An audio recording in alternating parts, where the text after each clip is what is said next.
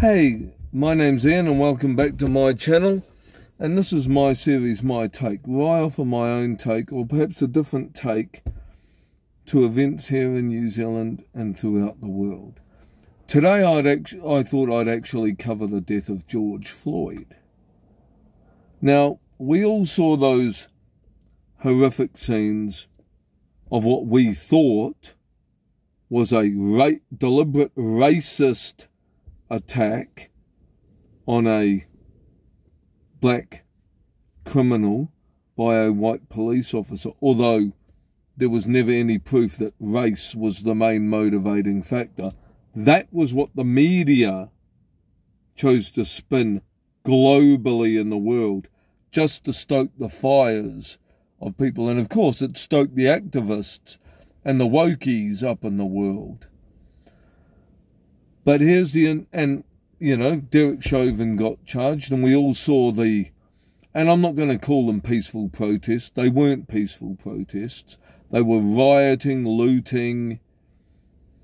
You know, there was assaults. There was, you know, a bit of end of lifing, and some arson that went on. And it didn't just happen in America. It was Britain, Australia, New Zealand, anywhere people were cancelled or harassed if they wanted to offer a different opinion because it was seen as they were pro cop or they were anti black, which is kind of stupid, especially given the fact that numerically more white people are actually killed per year in America by the police, which is something that is not often talked about. And certainly, you don't see too many people out there going nuts in the streets at the death of like, you know, white people, like when Tony Timpa or Daniel Shaver were killed by the police.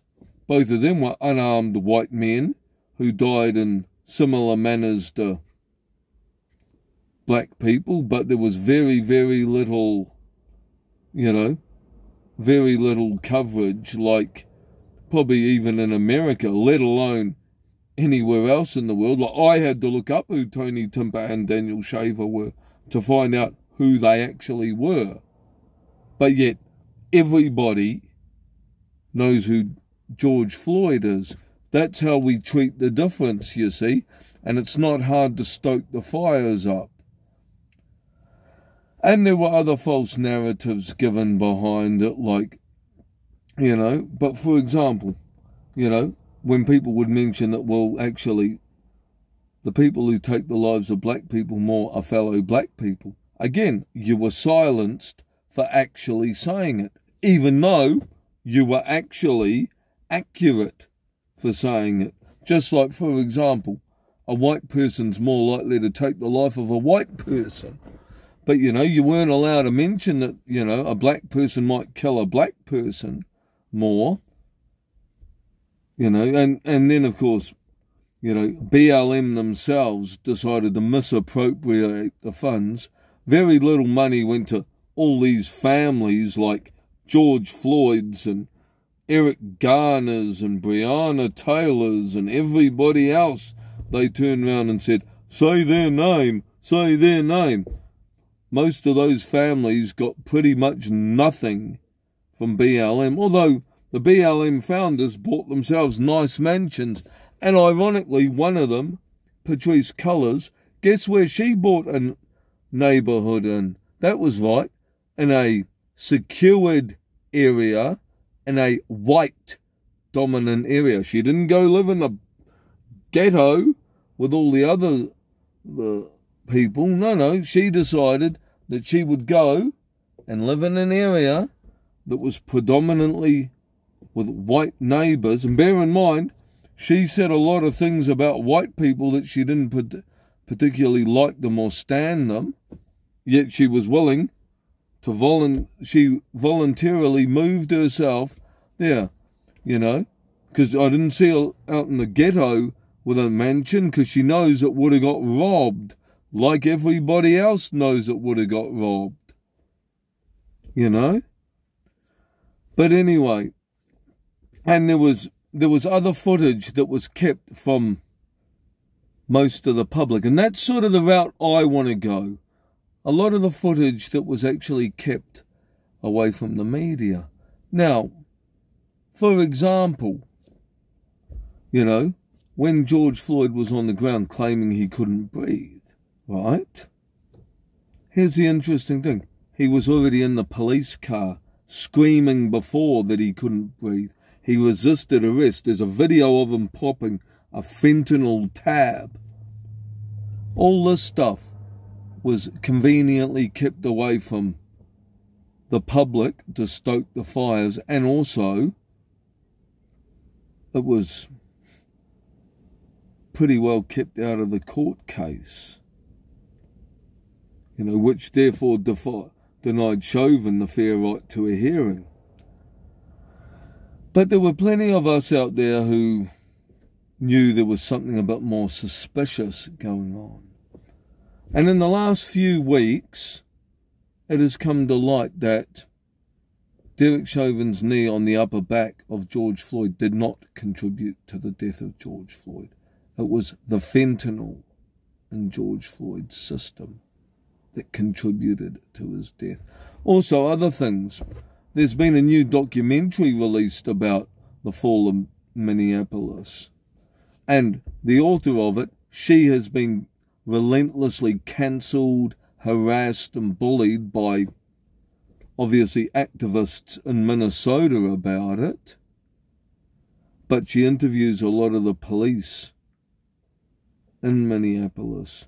And this police technique that Derek Chauvin used is apparently a approved police technique, even though the chief of police or whatever he was denied it at the time, which therefore stoked more fire and ammunition. Derek Chauvin has been recently stabbed in prison. He's not dead, but he was recently stabbed, which, of course, to most wokies and socialists and BLM supporters out there, they'd probably be actually glad to hear that. Especially the new evidence that, like I said, shows that the death of George Floyd was caused by fentanyl. Now, in normal circumstances, that would be good enough to grant Derek Chauvin a retrial. But unfortunately, in the current world we live in, being as Derek Chauvin unfortunately is wrong race and wrong sexual orientation and wrong body part between his legs, his chances of actually getting a fair trial are zero. And I'll tell you why, in my honest opinions, why I believe he won't get a fair trial.